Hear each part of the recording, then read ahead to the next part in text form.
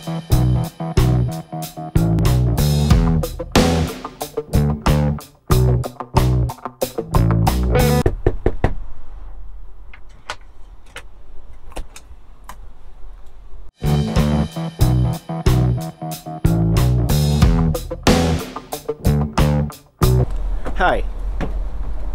Welcome to Rancho Corvair. I am Cary Corvair, proprietor of this fine property in the deep down interior city here in Toronto.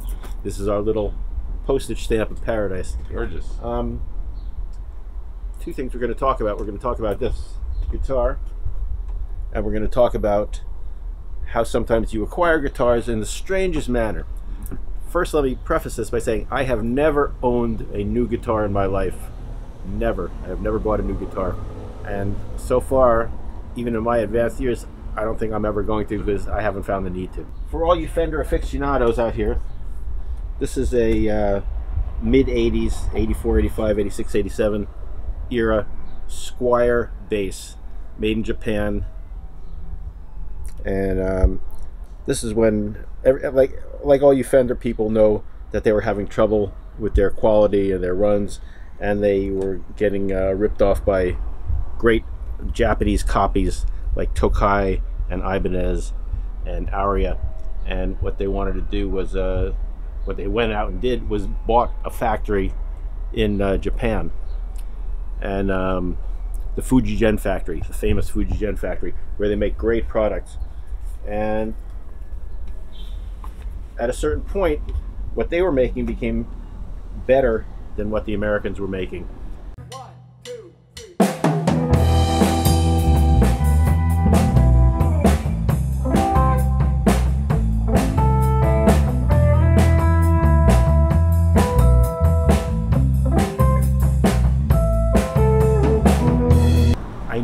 A, a separate rig for our practice space, so I wouldn't have to go to the practice space to get my rig to take the shows. I had that at home. I wouldn't have to make that extra trip. And I, I believe this was uh, even before I bought things on uh, Craigslist, or maybe simultaneously. But I think I found this guy on through the buy and sell newspaper. Remember the buy and sell newspaper? And I called this guy up, and it was a, just a great deal. It was a Peavey Mark IV head. Bass players, you know what these are. You know they're Peaveys with all. You know they're they're rated at two ohms, so they seem more powerful. They have uh, parametric and um, what's the other kind of EQ? Oh, uh, I'm not sure. Anyway, Geometric. no, not geometry. Anyway, it, it has it has the two types of EQ. It had a built-in chorus. It had lots of uh, gizmos and gadgets, and for the time, it was considered a pretty good amp. They are very durable. I never was a Peavey fan, but he had that and a Yamaha 4x10 cabinet for two hundred dollars, and I said, "Man, that's cheap." And I called the guy up. He was a really nice guy. I went to get it. When I got it, everything was in pristine condition, worked great, and I said to him, "Buddy, it's so cheap. Tell me honestly, because I don't want any trouble later on down the road. Is this stuff yours or is it stolen?" and I was serious. I was serious. what year was it? Uh, around 2001, 2001.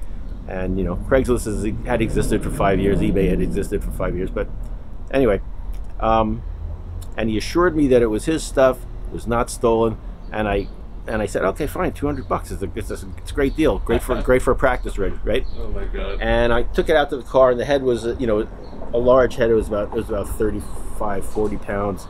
And I took that out, and then we took out the uh, the cabinet, and we put it in the car. And he was a really nice guy. Said goodbye, shook his hand, right? Got my car, about to drive away, and then he comes running out of his house, running out, and, and he yells, "Cary, Cary!" Runs out, and he runs out with this guitar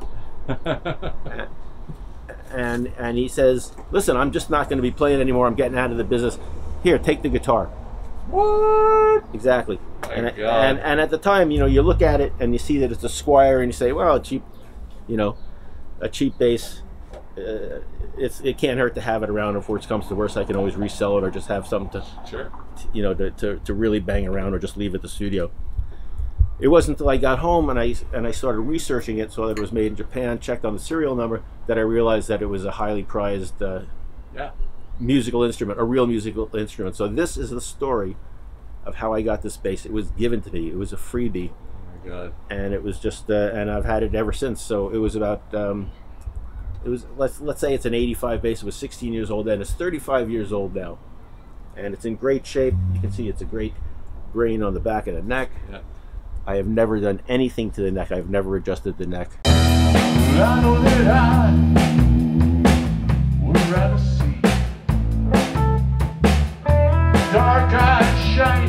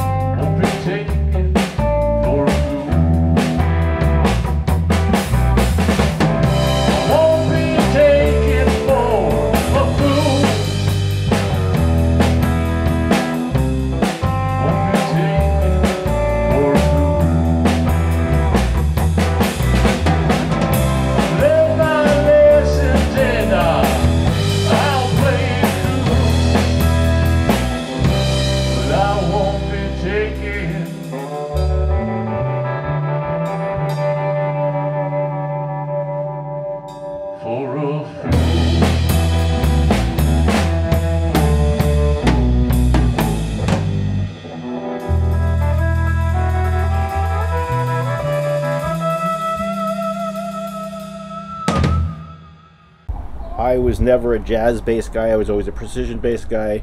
Then I acquired this, and this became the guitar that I that I love to play. I, I developed a feel for these necks as opposed to precision bass necks, and the quality, the fit, the finish, everything about him is great.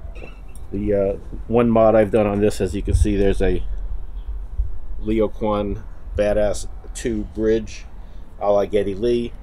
I think these knobs, think I took the old knobs off here and they're on a different guitar. I think these are uh, Stratocaster knobs. Um, Usually you get a small knob in the third place, right? Yep. Yeah. And that's about it. I never did a, a single thing to that. It's a 20 fret neck, 34 inch scale, standard. There's my uh, signature black nail polish fret markers to make it easier to see on stage you can really see it on that one. Because uh, I need to see those markers on stage. I'm just not that good. Uh, other interesting things about this is this about this here is see this wire here. That's a grounding wire, and they did that. That was the style at the time. It came out of the uh, out of the control cavity, the the gear cavity in the back, and it came out through there. Don't ask me why they did Go to the that. factory like that? Yeah. Oh, Yeah, interesting. that's what they. that's kind of weird, eh? Yeah, it is kind of weird. Did they do them like that still? No. Oh, weird. No, I don't know why. You know, maybe the it had to do with the shielding in the in the cavity, and that's about it. Wow. it it's a great guitar, really a great guitar. I'm going to play it at practice tonight, even though I really don't play it as much.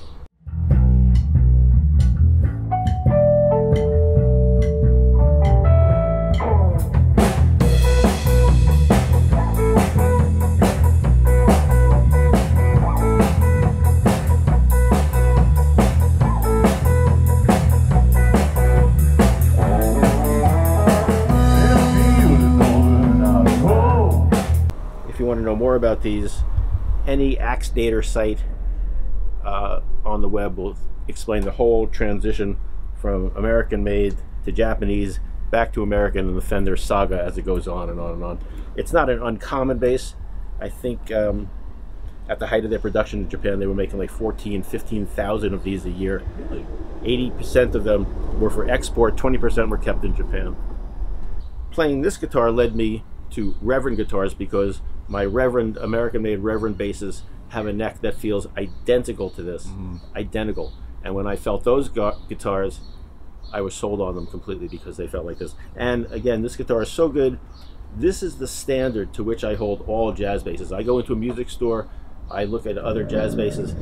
This is the, the one that I think is what a jazz bass is supposed to feel like. And that's about it. That's my gear vlog for today.